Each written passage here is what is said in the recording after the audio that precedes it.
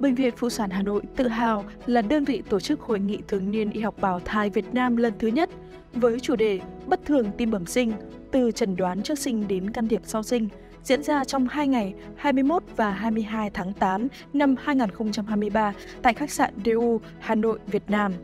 Hội nghị bao gồm 13 bài báo cáo đến từ các chuyên gia đầu ngành y học bào thai và sản phụ khoa trong nước và quốc tế.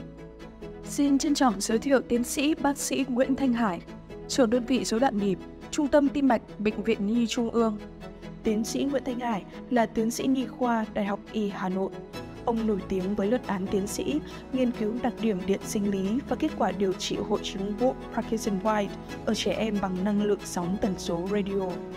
Tiến sĩ bác sĩ Nguyễn Thanh Hải có gần 30 năm kinh nghiệm trong lĩnh vực nhi khoa, tim mạch nhi và là diễn giả thường xuyên tại các hội nghị về tim mạch tại các nước hàng đầu về y tế.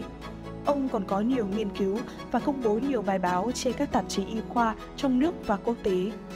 Tại hội nghị lần này, tiến sĩ Nguyễn Thanh Hải sẽ chia sẻ kiến thức về chủ đề rối loạn nhịp tim thai từ chẩn đoán trước sinh đến can thiệp sau sinh.